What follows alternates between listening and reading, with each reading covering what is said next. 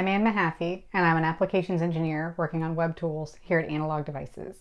And in this video, I'm going to talk about distortion that's caused by this resistor getting too large. Um, and just to, to, to introduce this topic um, and, and segue from our previous videos, so we've, I've spent a lot of time talking about this kickback.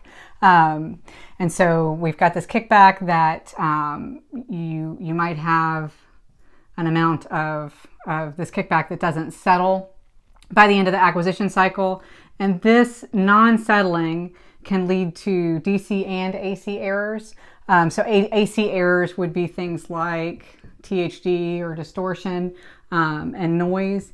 And this kickback related error, um, if you're troubleshooting on the bench, is something that can be resolved um, or at least improved by slowing your sample rate down and making this acquisition cycle longer. So you can see here that um, basically this error term can can can get lesser um, as you increase this acquisition cycle.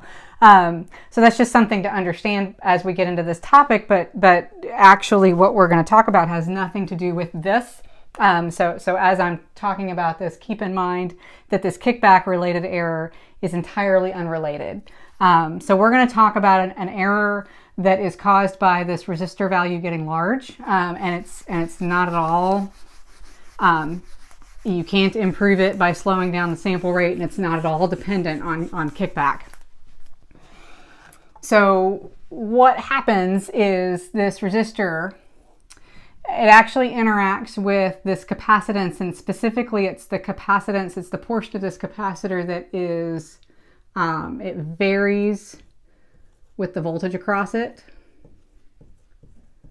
So we've got a capacitance um, that's that's fixed.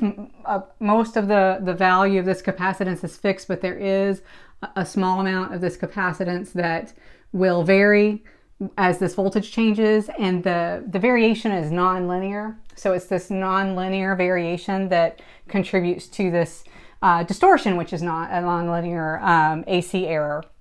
And so it helps to understand why why is it that larger values um, of this resistor uh, contribute to the distortion, or at least it's helpful to me. So just to put some math around the problem, we can look at this, this just the circuit, just the portion of this circuit that's related to this nonlinear capacitance.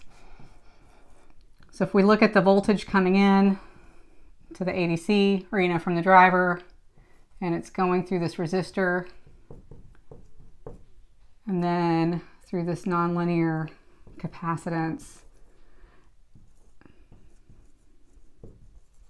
And so what we want to know is, um, well, first of all, it'll help to know what the current is. So what's the current going through this capacitance? And to, to determine that, what's helpful to know is that the frequencies that we're interested in here are relatively low compared to the value of this capacitor. So this capacitance is, is very small.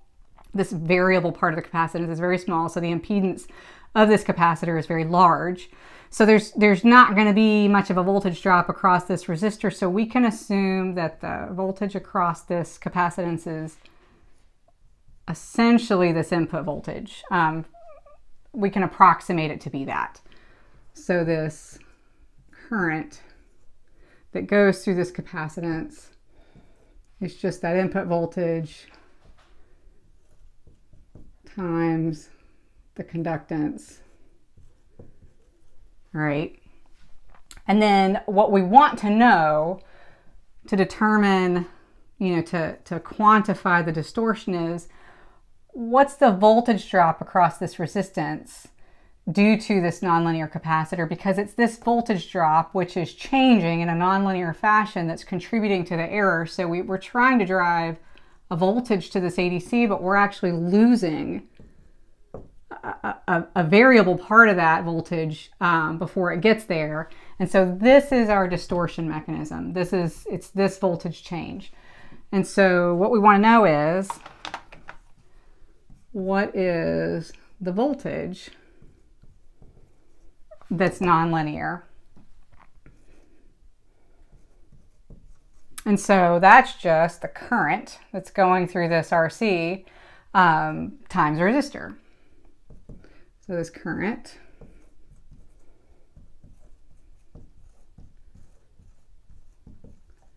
Times this resistor.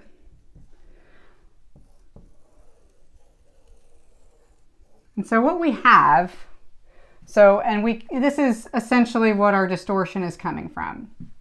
So what we've got, if we just visualize this, so for um, cross frequency, we've got this voltage.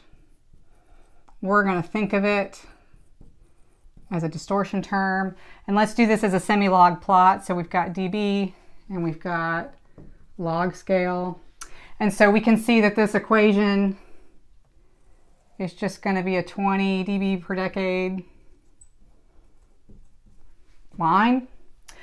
Uh, it's gonna, this distortion is gonna get worse as frequency goes up. We can see that here. So as our frequency gets higher, this is gonna get worse. Um, and as our resistor gets bigger, that's gonna get worse. But for a given resistor value, let's say we've got a curve like this for a resistor. And as long as this curve falls below you know, what the specified distortion parameter is for the ADC. So the ADC is going to have um, a, a, distortion that's just inherent to the ADC that, that is in the data sheet.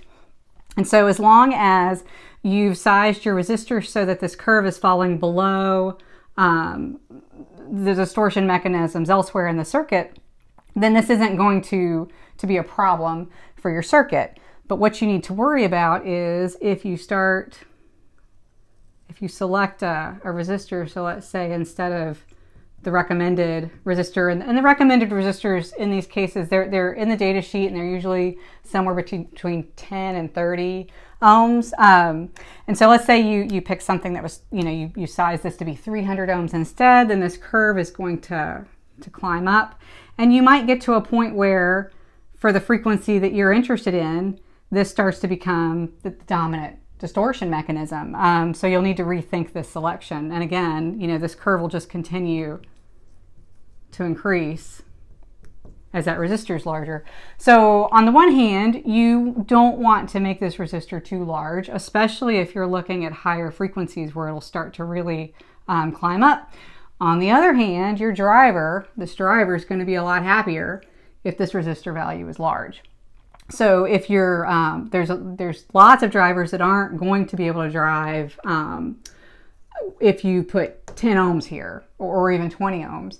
Um, but then there's some ADCs that are going to have increased distortion if you go as high as 30 or 40 or 50. So um, so this is this is the point where you're sort of between a rock and a hard place, um, and it helps to to to understand how the driver's working and the ADC's working, and to understand that this is the curve that's moving on you as you um, change this resistor value. Again, this is distortion that will not change, it will not budge um, as you lower the sample rate and as that acquisition cycle gets larger. Um, there are other sources of error and, and distortion that, that will improve, uh, but this is not one of them. So if you're seeing distortion in your system that is worse than you expected and it's not uh, moving as you slow down the sample rate, you could try lowering this resistor and see if that helps. Um, so that's just, just one thing to think about as you're designing this circuit.